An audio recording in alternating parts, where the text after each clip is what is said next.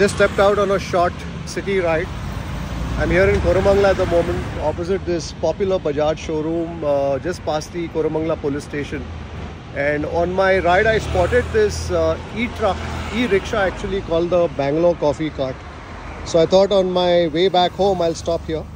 And so I did. So they do a bunch of coffees. They do the Mysore filter coffee, the Madras filter coffee, black coffee, jaggery coffee. They brew it using a traditional filter. Tasted two coffees here. What I'm tasting now is the Mysore filter coffee. I also tasted something that they call the Madras filter coffee. The Mysore filter coffee is stronger. The coffees are priced at what 20 rupees for 110 ml. Good coffee pit stop. Nice to see enterprises like these, innovative ideas. So if you're in Koramangala, check it out. Just past the police station, just outside the park here.